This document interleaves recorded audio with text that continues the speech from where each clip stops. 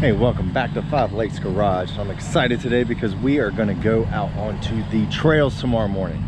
So uh, hopefully you've seen some other videos about prepping for the trail, getting ready for the trail, making sure your rig will survive. Well, today we're going to load it up on the trailer. Tomorrow morning we're going to head out to Uwharrie and hit some trails. Uh, we got to pick up some trash. We got to go out and uh, dig some trenches, trying to get the water off the trails. Uh, I think the biggest problem this weekend or tomorrow is going to be trash. Uh, not a lot of people have been out there this year and there's going to be a lot of trash out there because not a lot of volunteers have been going out there to actually pick up after these sorry scumbags that throw their beer bottles everywhere. Anyway, but I wanted to show you real quick the trailer that I'm using. Now this is not my trailer. This is a buddy of mine's and he actually got it from underneath me. I actually sent him the link. Like, dude, man, this thing looks cool. I'm, I think I'm looking at it. And he goes out there and he's like, yeah, sorry, I already bought that one yeah, that's what happens. But it's okay though. He's a good bud and he lives right down the road and I can pretty much borrow it anytime I really want to. But uh, after towing it and using it for a little bit, it's a little bit too long. I'm looking for a 12 footer, at least a 7,000 pound because the pumpkin doesn't weigh that much. Um, but if I get a 12 footer with the pumpkin, I might be able to tow it with the taco so I can have cruise control and air conditioning that the Dodge does not have. Anyway, so let's take a look at this trailer. So it is a 10,000 pound trailer. He's got a nice battery sitting here. He's got a winch right there to haul in the hunk of junk that actually uh, dies. Got a spare tire. And this is the part of the whole thing that is awesome. So what it is, it's a dump trailer. So you don't have to worry about ramps. You don't have to worry about hauling them, pulling them out or anything like that. You just pull this lever and the whole thing goes up. Check it out. You unhook the hook and it slowly rises up so you can actually crawl right up on it. Look at that. All right, so I'm gonna go ahead and pull the pumpkin up here so we can go and get, get it locked down. I'll show you uh, the way that at least we chain everything down or strap it down. And uh, you might have a different way, this is our way. So check it out.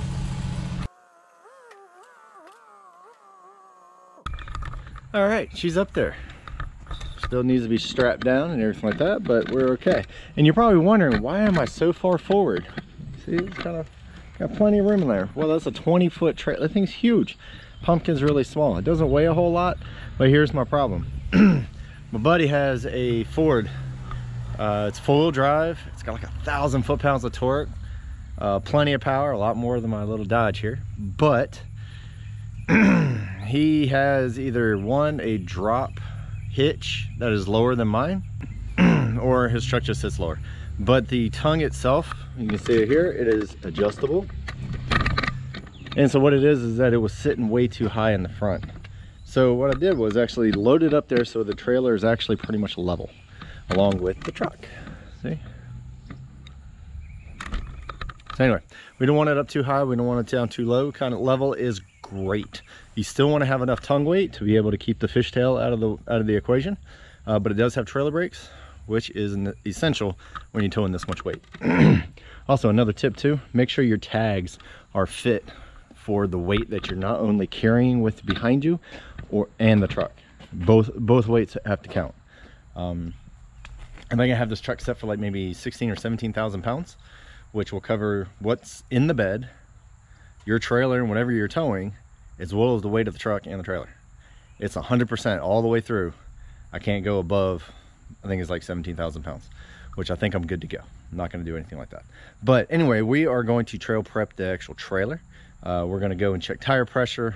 We're going to check grease uh, grease it if we can.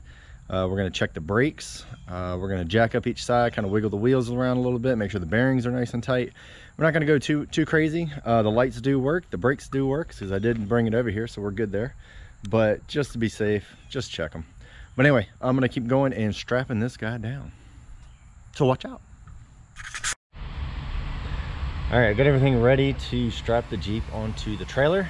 Now there's a couple things and a couple tips that i like to put out there and come a couple of uh, do's and don'ts so to speak.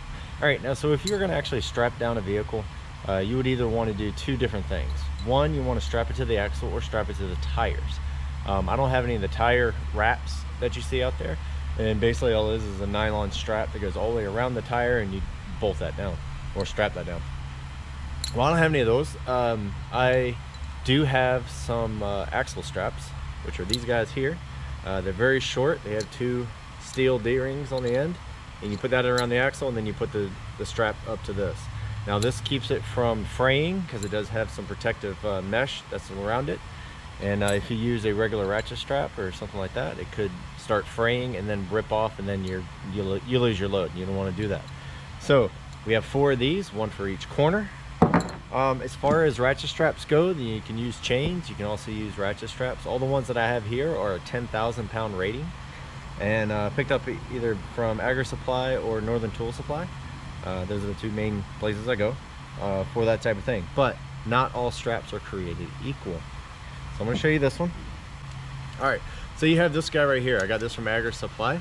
It is a 10,000 pound ratcheting ratchet strap. Now, here's the difference. The end of the clip. Now this one is not as bad. I do have some that are like really wide. And this right here is mostly for straps to go up and over the other side. Um, if you were to hook this up there and it's at an angle, that strap right there will start tearing. You don't want to have that. Um, when, when I'm doing a vehicle, there is a certain type of strap that I'd like to use, which are these guys. Now, these right here actually has more of a hook style so that it will pivot a little bit better. Um, and then it will keep uh, you know equal pressure all the way across the strap and it has a less likelihood of fraying. Now also if you look at this guy right here this strap right here is, is, relatively thin. I mean it's thick, it's nice and strong, don't get me wrong, but it is relatively thin. Now if I were to look at this one, this is more rounded and it's a little bit more protective of the actual strap. So be sure you know which straps you're actually going to use. So I'm to crawl underneath this thing and actually put my straps on there and then strap them down to my D-rings that are out here on the rig. Now some people will want to say like, oh, attach it to the frame and stuff like that. The only problem with attaching it to the frame is that you have your sprung weight. So basically your vehicle itself is using the suspension. Every time you hit a bump, it goes up and down and it's gonna start beating on your straps. Uh, we don't want it to beat on the straps, we want to be secure. So I'm gonna go ahead and hook these up and you get to see it.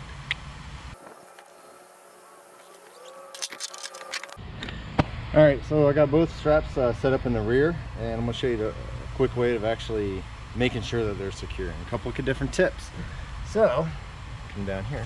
Okay so you have your ratchet here. I have all of my strap which is really long by the way but i'm going to show you what you're going to do with that here in a minute. So we're going to keep this. We got a nice amount of slack in here because what you want to do is have actually have a couple of rings around the actual barrel so that the harder it gets pulled, the tighter it gets. If you only have one ring, it could slip off. I've seen uh, the Boss Garage mess up his GTO that way, where he did not have enough um, twists around the barrel and has messed up his brand new paint job. Such a sad thing. But anyway, all right, so that's one ring. Two rings. All right, so I do have the brake on and we're gonna go ahead and snug it up. We're not gonna get it too tight. I'm gonna pull this down that actually locks into place and we're not gonna be able to get it done. So it does latch into place so it will not come loose. I'm gonna do the other side and go ahead and get these two snug pretty much at the same spot. I'm gonna go to the front and do the same thing up there and then pull, depending on which way I wanna actually pull the Jeep, I will uh, use that side to actually tighten everything down. And then once I do that, I'll show you what to do with all this extra. All right, stay tuned. All right, when you're actually strapping this stuff up into the rear and attaching it to the axle, a couple things you want to keep in mind. One, don't pinch any brake lines. Don't pinch any electrical lines.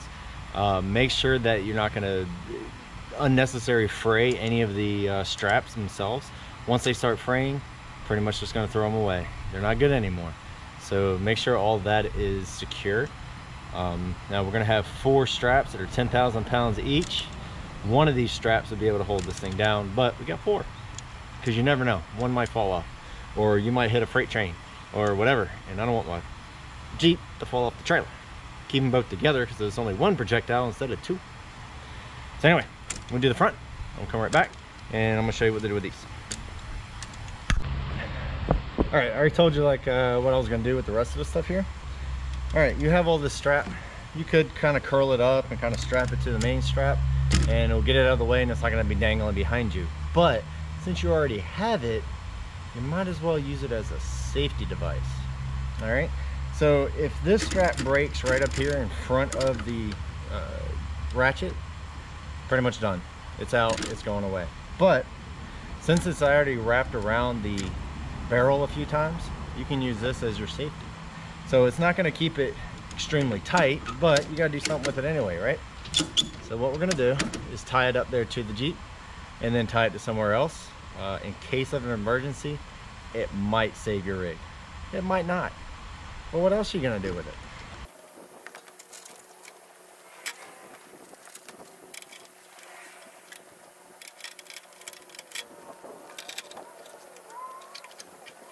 So there you go. Um, I know I said earlier not to tie it up to the main rig, not to your bumper or your chassis or anything like that. But as you can see, these guys are not really supporting anything. It's only for his safety and you got to do something with it anyway. Uh, at the ends, you just uh, kind of do a couple half hitches. Uh, you do as many as you can so it doesn't flop in the breeze. Once they start flopping, they can start fraying. So we don't want to do that. So I'm gonna do the same to the front. And then we're gonna go over a couple little odds and ends before you leave. Tire pressure. Stay tuned. All right, one thing you definitely want to do before you go out is check your tire pressure. Not so much on the CJ because we're going to deflate those down once we actually get to the trail, but your tires on your trailer, on your truck. Uh, different loads require different different pressures. Um, I like to go a little bit on the heavy side um, just because I don't like swaying or anything like that. And looking at these guys, wow. Uh, so apparently my bud really likes 80 psi in the trailer tires, which if you look on the side of the rim or the side of the tire, it says 80 as a max. I don't like going to the max only because of the amount of bouncing and stuff like that. You want to try to give it a little bit more leeway. But this side is in the sun. Keep that in mind too. This is regular air that we're putting in there. We're not putting nitrogen. So the ones in the sun is going to read a lot higher than the ones out of the sun. So I'm gonna go to the other side and make sure they're all the same. I'm gonna put all the trailer ones at 70. I'm gonna put uh, about 65 or so in the rear of the truck and about 55 in the front. 55 in the front just to make it ride a little bit easier. It is a three quarter ton and it rides like a brick. So let's go. You know, I almost forgot. Always, always, always check your spare. Seen it so many times people are out on the trail or out on the highway. They're like well i changed my tire but that's flat too. Okay what's the point of having two flat tires? So check the pressure in your spare tire. Make sure they match whatever's on the trailer or on the truck. So check it. All right hopefully this kind of helps you trying to get everything ready for the trail because uh, the you can't really ride the trail until you get to the trail and if you're going to be towing your vehicle over there there are a couple things that you really wanted to do. Hopefully you learned a little bit of something. Uh, if you want to educate me obviously put down some in the comments. Let me know. What do you do? What works best for you? Is something I'm doing that's not working? Let me know. Um, a lot of people actually cross their straps and I totally understand why. Um, in this particular case the way my axles are actually set up uh, it was really hard to find a spot that wasn't going to chafe on something um, so I just go straight back to the back. Uh, it seems to work very well. Uh, I've taken it up to the mountains. I've taken it around a lot of windy roads and it works out pretty well. But I do understand why they cross it so that it doesn't swing back and forth. So if that works for you and you can do it, by all means, please do it. but anyway, all right, so like, subscribe, tell a friend, share, all that good stuff, and let me know what you think. I'm gonna do a couple more, so I'll see you in a few. Later.